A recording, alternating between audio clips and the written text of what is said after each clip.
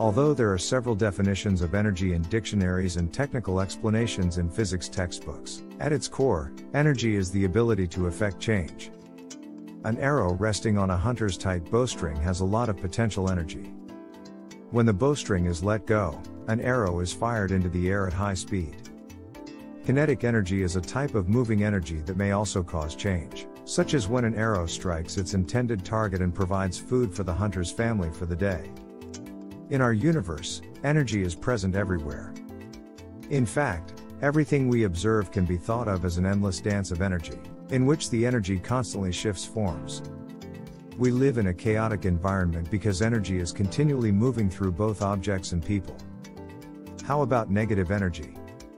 When discussing the creation of wormholes, space tunnels through which people can immediately travel, or warp drive engines that will enable humans to move across space faster than the speed of light. Negative energy is frequently brought up. But is it true? Energy is positive in the realm of kinetic energy. But with stored, potential, energy, that's not necessarily the case. Consider a large rock located on the edge of a very high cliff. If someone pushes the rock over the edge, you know what will happen. It will fall to the ground with increasing speed, producing a loud noise when it lands, and maybe shattering apart. The potential energy of the rock at the cliff's top will be converted into kinetic energy, when the rock, which is heavy and falling quickly, crashes against the bottom. Potential energy is transformed into kinetic energy in terms of physics.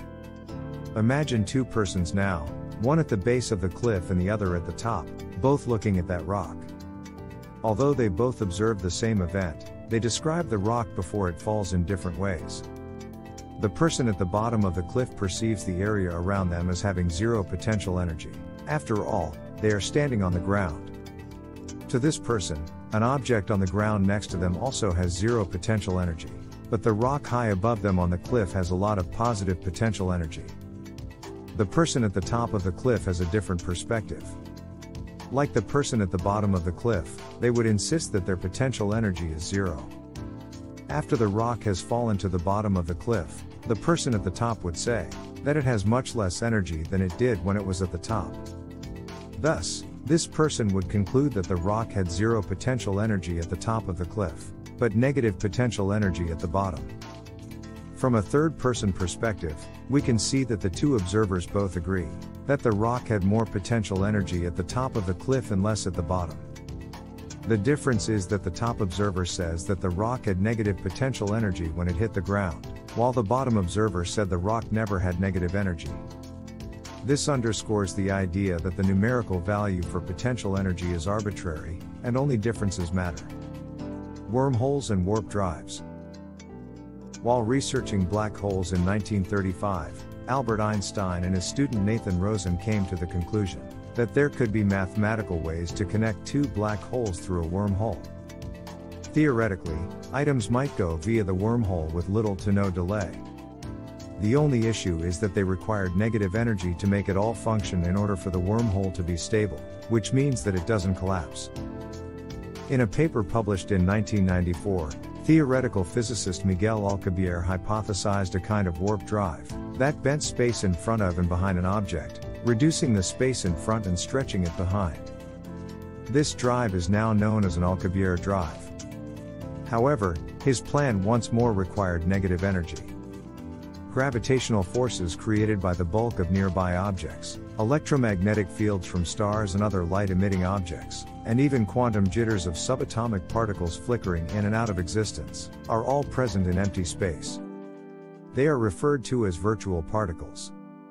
Space is filled with energy from these fields.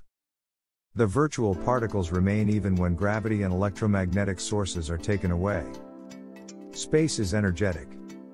Negative energy in this sense refers to having less energy than empty space. Things get challenging at that point. Nobody is aware of a way to have less energy than nothing. We could take advantage of that energy gap and have unbounded power if we understood how. This concept is known as zero point energy.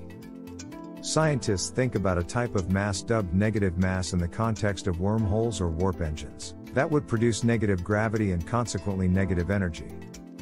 However, this is an entirely hypothetical construct that has never been observed. On a more specific note, you might have noticed a recent article, in which scientists claim to have created a quantum equivalent of a wormhole. Although the stories are accurate, this was a computational analog rather than a real wormhole. In the simulation, the negative energy wasn't actually negative energy. Although it does exist, negative energy is a hazy idea. People can classify circumstances as having negative energy, just like in our cliff example. But that's not the same as the intriguing and intriguing possibilities around wormholes and warp engines. For those, you need to figure out a means to lower space's overall energy below the minimum. But we don't know how to accomplish it. It's possible that it's impossible, which it probably is.